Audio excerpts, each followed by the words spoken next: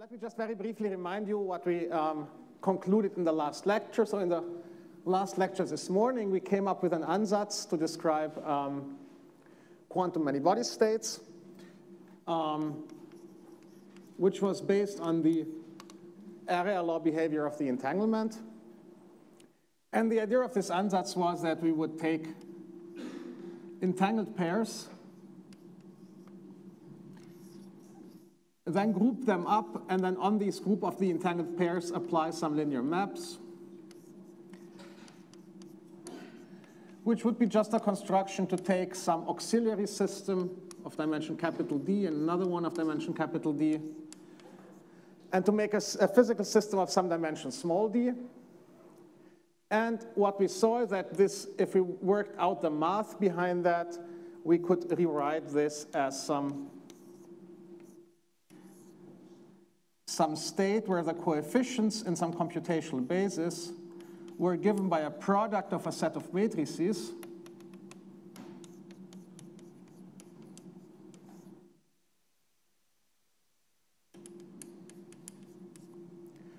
where each of these matrices basically would be describing the action of one of these maps P. And this is why these states are termed matrix product states.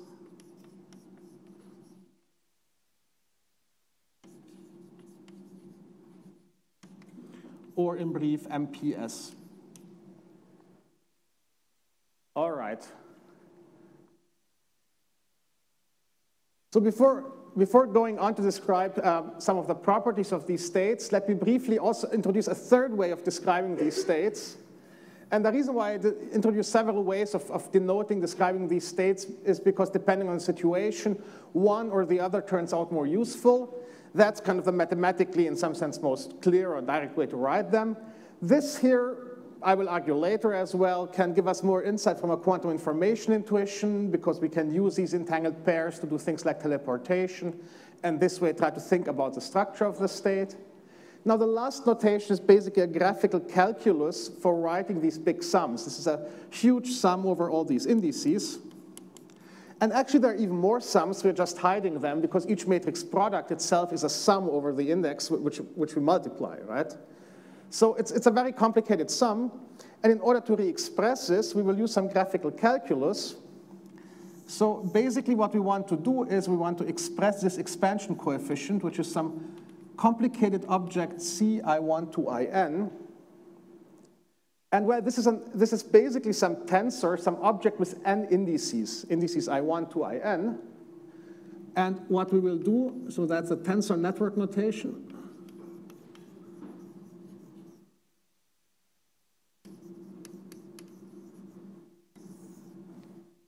What we will do is we will say, okay, this tensor with n indices we will denote as some box with n legs. So each index corresponds to a leg which sticks out of that box. Then these a's here, well, for a given i, this is a, a matrix, so a two-index object, but i is also an index. So each of these objects on a certain side S, we will also denote as a box with an index alpha, an index beta, and an index is. So again, each of these indices just denotes one of, each of these legs just denotes, depicts one of the indices of the tensor. The point is now the following. What we want to write is a summation over these indices. So if you multiply two of these matrices, say we take A1, I1, and A2, I2, and multiply over this index beta here, the way we will depict this graphically is that we will take the box for A with indices alpha and beta and I1, the box for A2 with indices beta, gamma, and I2, and now what we will do is we will connect this leg graphically. And connecting this leg means exactly what is being done here. It means that we identify that index. So we say the second index of this guy should be equal to the first, well, So the kind of right matrix index here should be equal to the left matrix index here, and we're summing over it. So connecting legs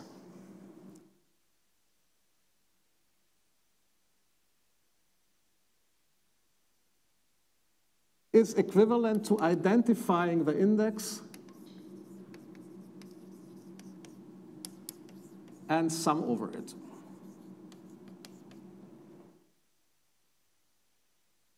So we'll see in a moment why this is actually very powerful, but you can already see one of the uses is that we don't have to write all these summations and all these indices, right? We can at some point just stop even putting labels on the indices if they're just indices which are being summed over. Kind of similar to what we did here, because we don't really need, need to know how we label them. So if we look at this whole expression, what are we doing here? Well, we have all these guys.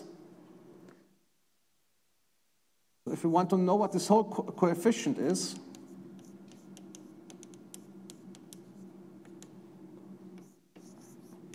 we have A1 with a left and right matrix index and the index I1. We have A2 with a 2 matrix indices and an index I2. And now what we do is we do the matrix multiplication, so we connect this index. Now comes A3. And again, we do the same, right? We multiply the matrices, which just means we connect these indices. And we continue like that until the last side. So we just connect all these indices. And then because we take the trace, we have to identify the left index here and the right index there, and sum again. So what we did is basically we took this single tensor, which has many indices, and decomposed it as a network of tensors, which are much simpler, right? Which have a much lower complexity, much less parameters. And that's why this is termed a tensor network. Um, and what we'll see later on that actually if we want to do calculations with these states, that's actually a very powerful formalism to write it in this graphical language. But again, it's just a different way of writing this formula. If you prefer writing formulas, this might actually be a more useful way of working with it. And again, this also kind of looks a bit more resemblant of this one, and indeed that's exactly what's going on. The fact that we identify these matrix indices and sum over them, if you remember, the derivation comes exactly from the fact that there's a maximally entangled state here, which, which exactly means that we have the state here and the state here being equal and being summed over all combinations of them being equal, right? That's just something like sum over i, comma i. Okay, so before I talk about how to do calculations with these states, let me just briefly highlight that they're actually a very good class of states for describing the kind of systems we want to describe. So they're very well suited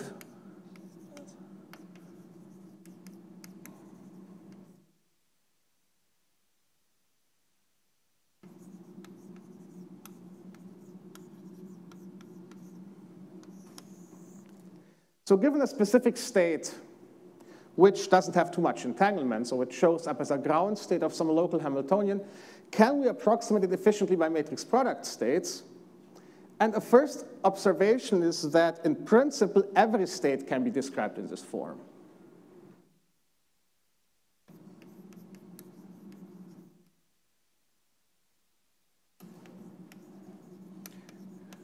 So this means this, this construction, this class of states has enough descriptive power to describe any state we want if we're just willing to toss in enough parameters I mean, obviously parameter counting will tell us there are constraints, right? This thing here has, we had this last time, there are n of these guys.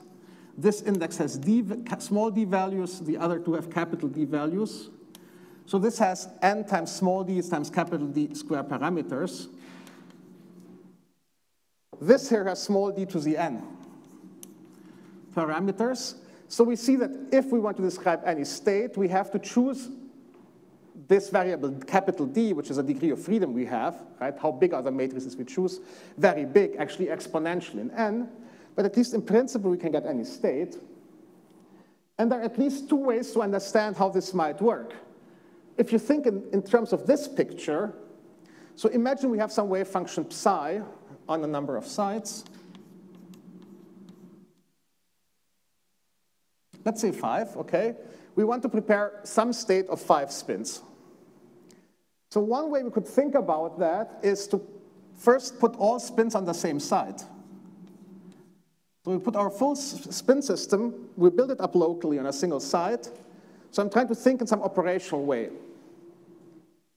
So now we have these five spins here, and now we would like to apply a map which does the following. It promotes this spin here to a physical spin. So basically, I would like to apply a map P. So what do I, okay, sorry. So I have these five spins. Then I add entangled states, okay? kind of just an operational prescription. So I add two pairs of entangled states. And now all these spaces have the same dimension, small d. Now what will I do? Well, one thing is I will take the central spin and just say, say this is my physical spin at the central site. The second thing is I will do a projection of these two guys on a maximally entangled state. It's like teleportation. Just that in teleportation, we want to do a real measurement, so we have, for qubits, four possible outcomes. If we are free to do a projection, we can just project onto the measurement outcome where we don't have any Pauli errors in teleportation, right? There's one outcome in teleportation where you don't have to do any correction. If we can just project, we can project onto the state where no correction appears. If we do so, this state here will get teleported here. We can do the same projection here, and then this state will get teleported here, and the same on the right. This guy gets teleported here, this gets teleported here. Now, this might look like a mess, but it's just linear maps. It's linear operations. It's projections onto entangled states, and this is just an identity map. So it's certainly a special case of writing some linear map P, which basically just teleports some of the stuff to the left and the right. And now we can basically proceed exactly the same way. We can add yet another entangled state. Hmm, here, I guess. We project these two guys on a maximally entangled state. So this guy gets teleported even further and ends up being here. And this guy up here, we just promote to our state at that site. And we do the same thing on the left. And this last state we also just promote to a physical state. So overall, what you see is a middle state ends up in the middle. This state here goes up here, goes down here. So it ends up here, as it should. This state goes here, gets teleported again, ends up here, becomes physical. So we end up here. So now, of course, you can try to write this down in formulas, but the general idea is you don't really have to think much about it. You can just say, well, all I did was I did some, well, pretty complex linear map here, and this is what I call P3, say, for the middle spin. I did some, well, also fairly complex linear map here. This is what I call P4. This one is somewhat simpler. This is what I call P5, and same to the left. So just by thinking in terms of teleportation, we can understand that we can build up any state like that just by preparing it locally and teleporting its, its, its shares, its parts, to the according location by using these entangled states. So we can use this entanglement to do teleportation. And well, because we don't need Pauli corrections, we can project there's, that really corresponds to just applying a linear map at each side. Another way is in this graphical language. You can understand the same procedure in the graphical language. What you say is, well, we have five sites and we want to get some C with five indices. So let's just do the following. Let's put this C with the five indices in the middle. And what we would like to have is that the first index goes to the very left, that one goes here, that stays in the middle, and so further. And what we can do now is something very similar to here. We say, well, This complicated thing, which actually now has five indices, we declare to be our central A with I3 here. And then it has some alpha and beta, but now we have two indices. But of course, what we can do is we can bundle these two indices just to a bigger index, to a multi-index, right? So this has some value alpha 1 and alpha 2. So we can just build a new alpha, which we define to have the components alpha 1 and alpha 2. And similarly here, So we just define a new, more complex object, and then we, we do the same here. And the same here, we define a new object, and indeed it's very close to what happens here. This is just something which teleports this part here. So it's really just a different way of phrasing the same fact. And of course, now you can try to write explicitly these A's using the fact that this here is a delta tensor, where this index is equal to that one, and so forth. But then, of course, you get lots of indices. It gets very messy, but it contains the same information. So the basic point is that really every state can be expressed in this form. That's a good feature. It wouldn't be good if you had a family of states which wouldn't get complete at some point, which would really essentially miss certain types of features. So that's a nice property. What is more important is that when we have states which are ground states of local gapped Hamiltonians, so states which obey an area law, we can do this efficiently. We can get an efficient approximation of any state. So here, of course, the problem is that just by parameter counting, as I said earlier, we will get a scaling like this, an exponential scaling, right? The d square basically has to scale like small d to the n. You can see that this happens here because we have to take half of our system and teleport it to the left. Right? We have to take n over 2 minus 1 sides and start teleporting them to the left. So we need that amount of entanglement. We won't get away with less for a generic state. You could, for instance, try to build up a maximally entangled state where each spin on the very left is maximally entangled to the very right, and so further, right? You have entangled pairs like that you will just see there's no way to prepare this with less entanglement because it has maximal entanglement if you cut through the middle. No, you can say just that. I think from a quantum information point of view, I find this a fairly nice and intuitive argument, but, but indeed, you can just do it in a, in a formal way, so to say, without talking about teleportation. I think it depends on your kind of, yeah, way of approaching things, whether, you, whether this is more intuitive or not. But I mean, obviously, formally, it's completely equivalent. I just find that, that coming from quantum information, for me, thinking in the, in the procedural way and operational way is often, is often kind of more intuitive. But again, it's, it's a matter of, of personal preferences of the way you think about these things.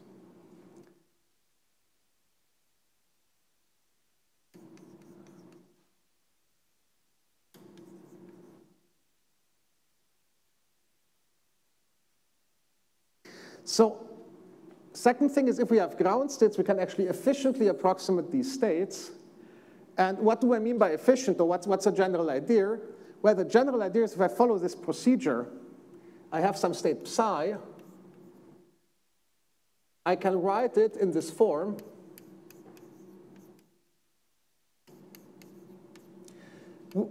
where what happens is that the dimension in the middle gets bigger and bigger. Let me just cartoon-wise depict this by putting thicker lines. But now what I can try to do is I can try to take this middle dimension and reduce it to something which is smaller, something which is less. And the point is that this is actually possible if the entanglement is not too big. So if the entanglement is not too big, so what I can try is I can do a cut here and insert a projection which projects out some of these degrees of freedom there and only keeps part of them.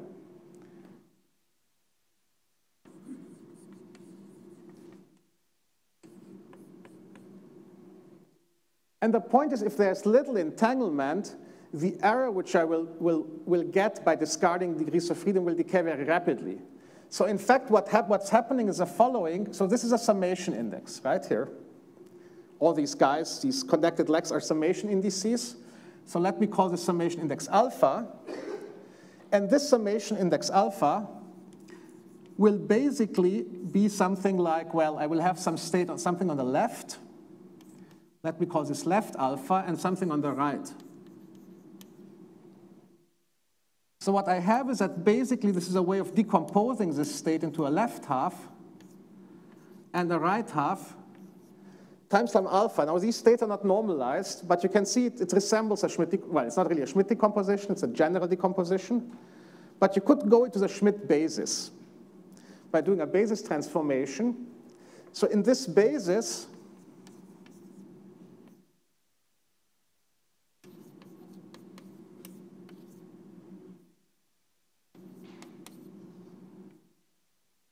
in the Schmidt basis, what will happen is if you don't have much entanglement, these coefficients alpha will decay fairly rapidly, because if they wouldn't decay rapidly, you would have a lot of entanglement. Because the entropy of lambda squared exactly measures the entanglement. You don't have much entanglement, the lambdas have to decay quickly. And then basically what you can do is you can throw away exactly those, um, those directions in that space, right? Those contributions which correspond to the small lambdas. This way you will make a small error and still keep an accurate description. So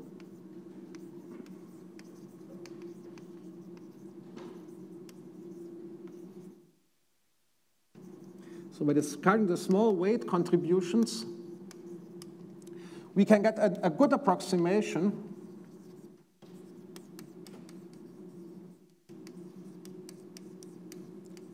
with a small error and a small d, kind of. And so the basic statement is, let me see that if I want to cut to some value of d, the scaling I get is in 2 norm.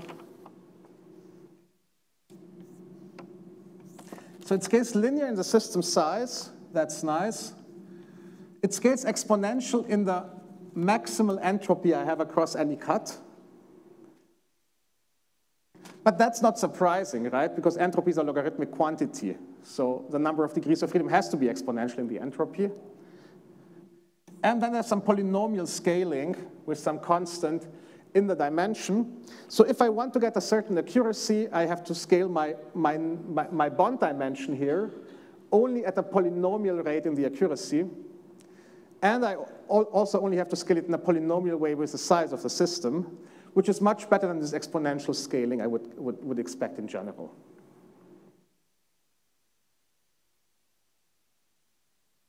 So D, which is a number of parameters, basically,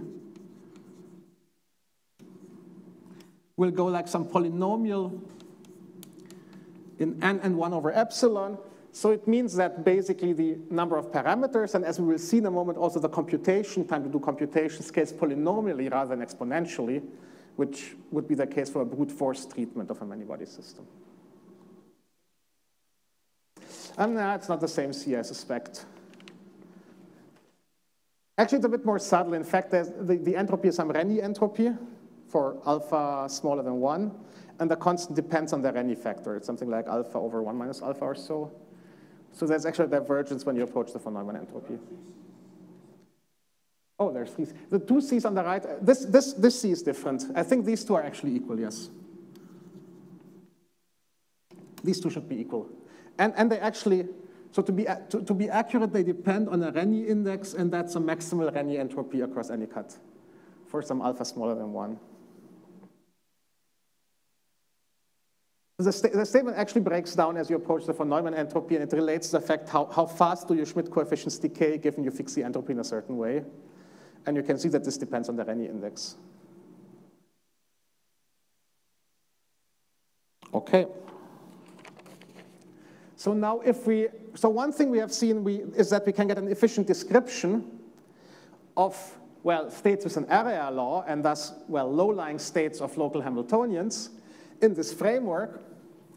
But of course, that's not enough, right? If we want to, say, do some simulation with these systems, we would also like to be able to evaluate quantities efficiently, right? Not only not only have an efficient description of the state without having any chance of computing anything. I mean, if we just want an efficient description of the ground state, we could use a Hamiltonian, right? It would tell us everything about the ground state. It would just be extremely complicated, presumably, to extract that information, like any useful information we want. Okay. So, so we need to find, say two things. Well, first of all, we would like to be able to efficiently compute physical quantities of interest like the energy of the system, correlation functions in the system, something like that. Then maybe even further, we would like to be able to find such a ground state efficiently, which is yet another level of difficulty potentially.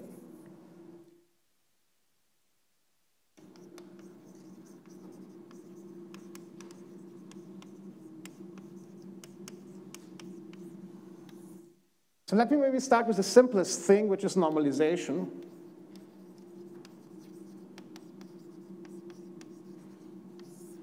And we've talked about these wave functions, but we haven't even seen if they're normalized. In fact, generally, we don't expect them to be normalized if we don't put any condition.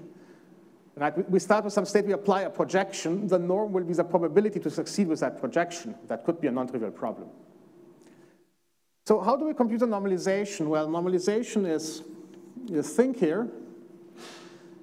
So if we use this notation that okay, so psi is the sum here, C I1 to IN, I1 to IN.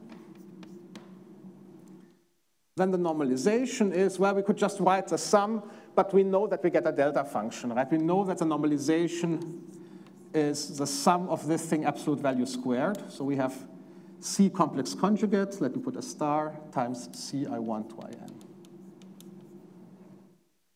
Right? So now let's try to write this down graphically, right? We, we, we, could go into the formulation, put the trace of matrix products, try to think about it. I mean, one thing we could do is we could just compute the C in our computer and then evaluate the sum.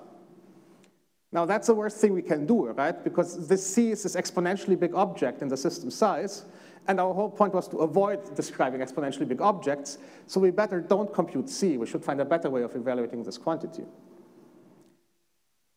So rather than doing formulas, let me draw a, a, a diagram, and I will look at open boundary conditions. So we have AI1, sorry, A1, A2,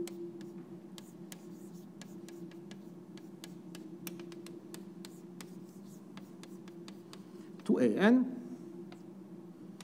So that's I1, I2, and so on, right? Now let's write C star. Well, C star looks basically the same, but with complex conjugate i's. Okay, let, let me put bars for complex conjugates because the stars will look messy here. Now I draw the legs down. You could think it's a convention for conjugates or just some convention I randomly choose. And so further, so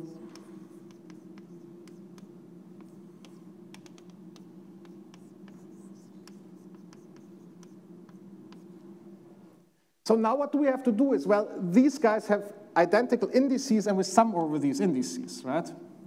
So remember the convention was that if we sum over an index, we have to connect these indices. So what we're doing is actually we have to connect all these indices because we're summing over all these indices. So what we get is graphically a tensor network like that, which doesn't have any open legs. And this makes a lot of sense because the normalization is a number, right? It shouldn't be, depend on any index all indices are being summed over, and that's exactly what we have here. All indices are being summed over. So now the question is, is there a way to, to evaluate this number efficiently? And well, one, well, basically what can we do is we have an object with many tensors and many summations. We have to find some order of summation, basically. So we could start summing all these guys first. Now this would correspond to computing this object here, which was just C, right? This is a bad idea because it's exponentially big. So we should do something different. So what can we do? Well, we can, we can slice the whole thing in the opposite direction.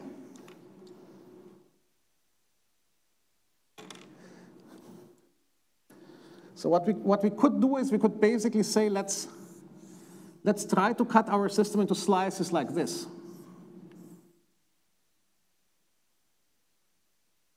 Now what is this slice? This slice here I can think of as some object with two legs sticking out. But as before, I will think of this as some double index. Right? This is some index alpha. Well, alpha prime and alpha double prime. But I will just gather the variables alpha prime and alpha double prime to some bigger variable, alpha, right? So I can think of this as some d square dimensional index. So it's something which only has a single leg, right? So it's a vector, so it's a d square dimensional vector. And let me call this vector E1. Now on the second side, I can do the same. Let me call this E2. This has a double index on the left and a double index on the right. So this is now a d square times d square dimensional matrix. And so further,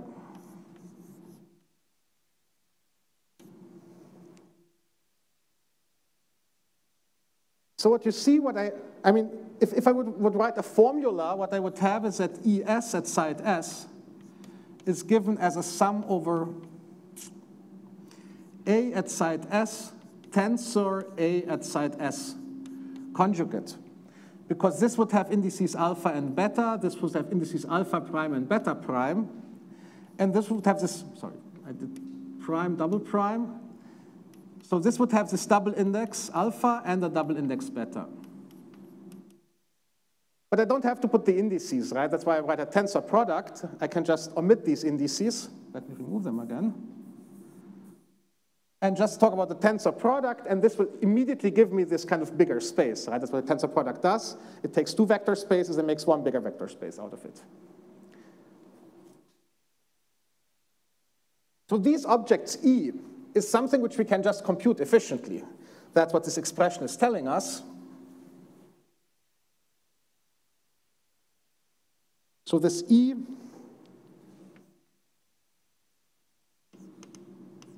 is a matrix of size d squared times d squared, and it can be efficiently computed. Oh, sorry, the sum is over i here. It can be efficiently computed because we just have to sum over this one internal index, right? There's no scaling with the system size. It basically scales as d, but d is anyway the size of the objects we're dealing with. We can't hope for anything much better than d. So now what we have to do is we have to evaluate this picture where these indices are again all being contracted, right? So what this total formula, again, this is a normalization. What this total object corresponds to is a product of these guys. We have to take E1, multiply it with E2, multiply it with E3, and so further. Now, this is an object of size 1 times d squared. Sorry, this is an object of size d squared times d squared and so on. And we have to, so we have to take a vector and multiply it with a matrix and keep going on. Now, what's the complexity, the number of operations needed for that? So what is this? So if we have an A times B matrix, and we multiply it with a B times C matrix, what do we have to do? Well,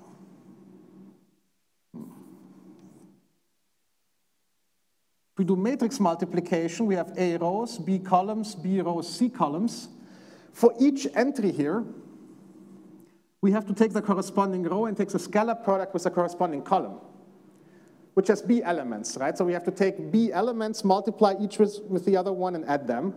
So for each entry here, we need B operations. I mean, order of B operations. And there are A times C entries. So the total complexity of matrix multiplication is that we need an order of A times B times C operations.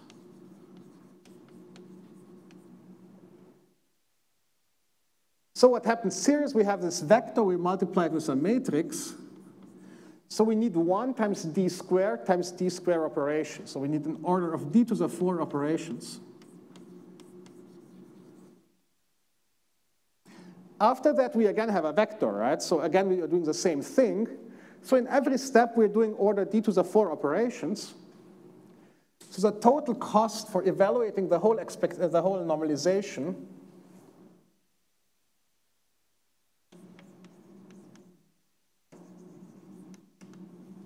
is on the order of n times d to the 4 operations.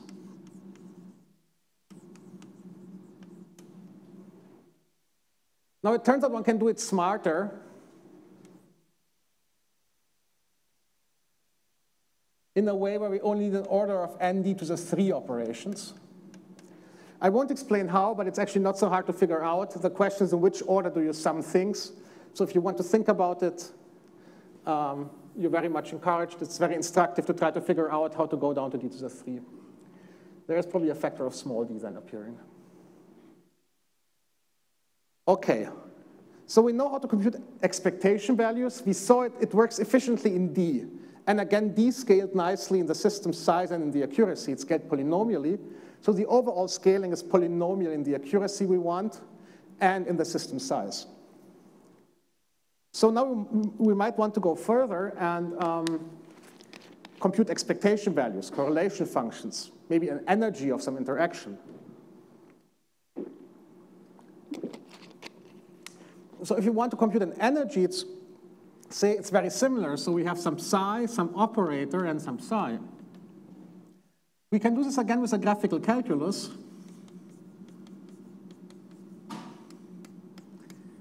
So we have the ket vector, the bra vector. But now we apply an operator and say we apply the operator on these two sides. So it acts on two qubits and it returns two qubits. And it's easy to see what we have to do. We have to take these indices here, multiply them with the components of the operator, and then connect that here. So if you wish, what we're doing here is we're writing this as sum over ci1 to in, cj1 to jn, conjugate, and then we have, well, our basis element, j1 to jn, the operator, and then i1 to in. Now, since it's a local operator here, everywhere where it doesn't act, so all but these two sides, we really just have to connect these indices straight away. And only on these two sides we get some cross terms. So we get some j, whatever, 3, j4, o, i3, i4. And that's exactly what we have here. That's i3, i4, j3, j4. So that's exactly what this tensor gives us. It gives these matrix elements of the operator.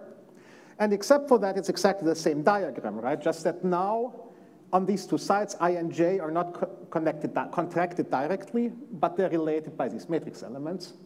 So we get this kind of tensor network, which we have to evaluate. And now you can see we can use pretty much exactly the same trick as before. We say this is an operator here. This is an operator, E1, E2. And here we define some new operator, which we say could call what E34 subscript O. So it's very similar to the original E, but it now contains this operator O. So it's just this object here. And again, you can see that's a finite size object, right? So we can compute it with a finite number of summation there's no kind of unfavorable scaling in n because n doesn't enter in this object. So what we get is really exactly the same computation. So if you want to compute this expectation value, we simply have to take E1, so the expectation value,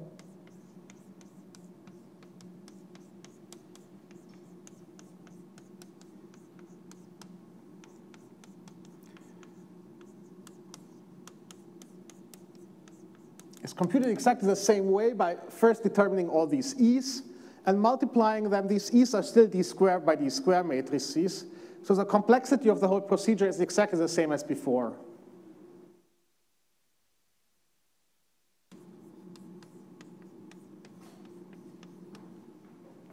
Actually, if we move to periodic boundary conditions, not so much changes. The only difference is that the very leftmost thing is also a matrix, and we take a trace. So we have to, indeed, it's more complex because now we have to multiply 2 d squared by d square matrices. So we get d to the 6 rather than d to the 4, but it's still polynomial, right? We're not losing the efficient scaling even with periodic boundaries. Okay. Okay, so in the last 10 minutes or so, let me maybe say how one would go about, so, so what, we, what we saw is we can efficiently extract physical properties, right?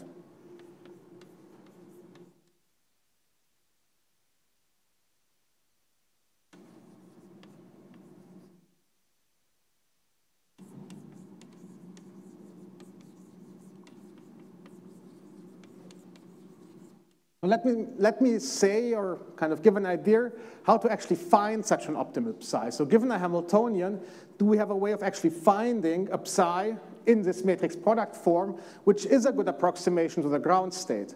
The procedure I described here doesn't work, right? This procedure was saying, well, mathematically, we can think of it as building the exact state and then discarding information.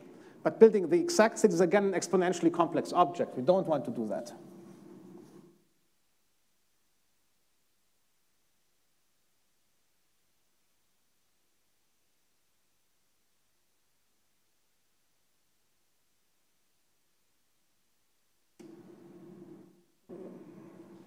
second expectation values.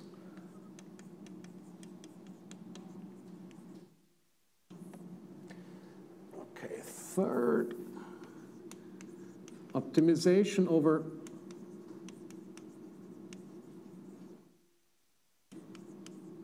And so this is what is known as the density matrix renormalization group method.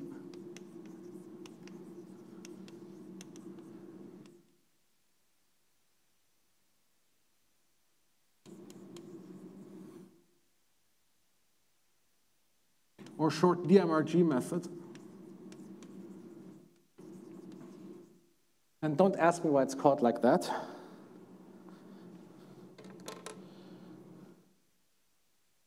Okay, so what, what is the idea of this uh, density matrix normalization group method? So I will just give a sketch of how it works. There are, of course, lots of technical details once you start actually doing that. But the basic idea is based on a, a, simple observation about these matrix product states. So if I take a matrix product state,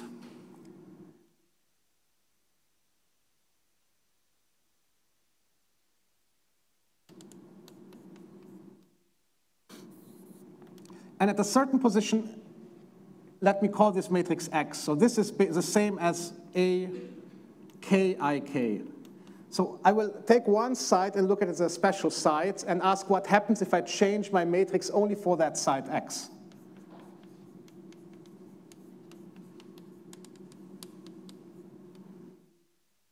So let me write this as psi sub k as a function of x. And if you just look at this um, expression, you immediately see that this is linear in x, right? If I take an x and an x prime and I add them, I will add the, the state psi. So the state psi is a linear function of x.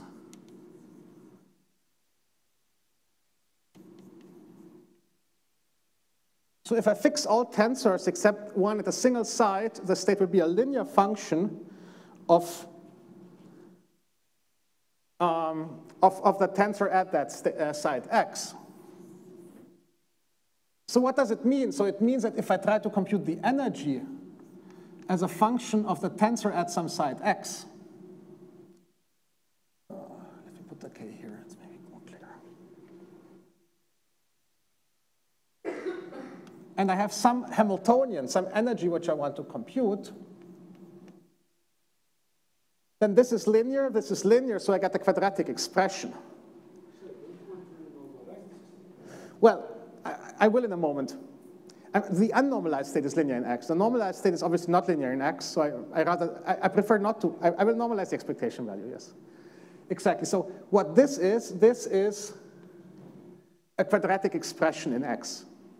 So if I think of x as just a huge vector, x is a three-index tensor, but I can just take all entries of that three-index tensor, put them in a huge vector, just by grouping all the indices, if you wish then this will be some quadratic expression in x, so x scalar product with m times x.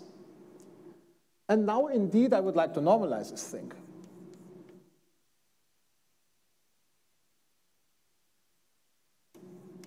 Oops.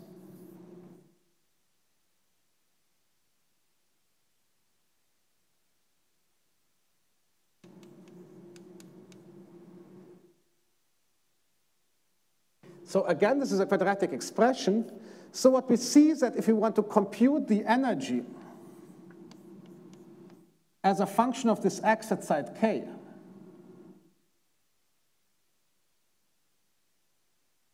then this will be given by a ratio of quadratic expressions, of quadratic uh, uh, functions. So now the question is, do we have a way of finding the optimal energy as a function of x? And well, it turns out that if we rephrase this, this is basically something like an eigenvalue problem. So what we have is that we are writing x times nx times ex is equal to x times mx. So the optimum of this kind of expression is exactly given if, if I have an eigenvalue equation, right? That's some formulation of a variational principle these are both Hermitian operators, because these are, well, Hermitian expressions. Um, so what we will see is that the optimum will be given, both the minimum and the maximum of this expression, will be given by the extremal solution of this eigenvalue type of equation. So that's what's called the generalized eigenvalue equation.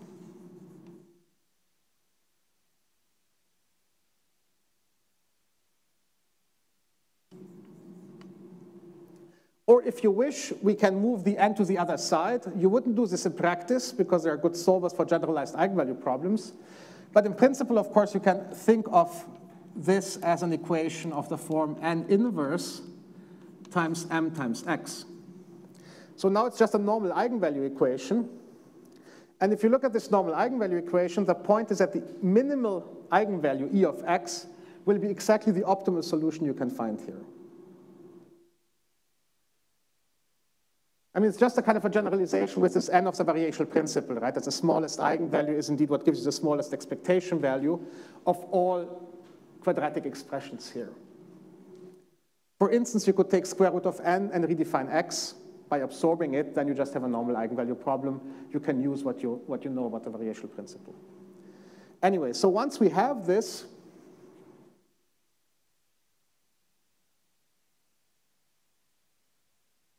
What we, what we see is the following. If we want to fix all tensors except for the one at position k, we want to minimize the energy, we can do so by solving an eigenvalue problem.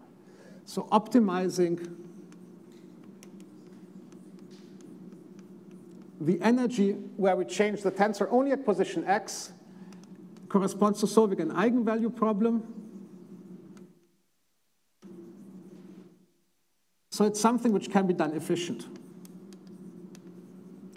in the size of the problem, which is again the size of these matrices.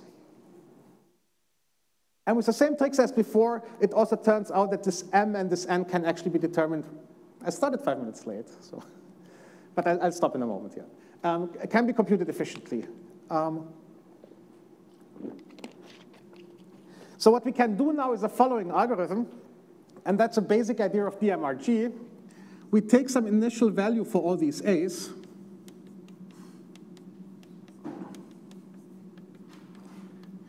And we start somewhere, say at the first site, we say this is our x, and we optimize this guy. So we optimize ex1, if you wish. So the energy as a function of the first site tensor. Then we move on to the next site. We optimize the second tensor to minimize the energy. And we continue like that. So we move through our chain. We minimize the energy as a function of each site. Then we move back, and we keep doing so, going back and forth. And the remarkable thing is that this actually converges very well.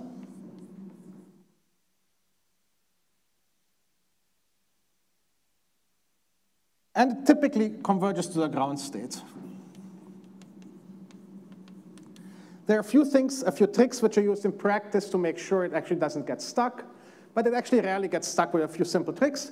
This is kind of remarkable because from a, from a quantum information, from a complexity theory point of view, you can actually show that there are hard instances and all kind of things.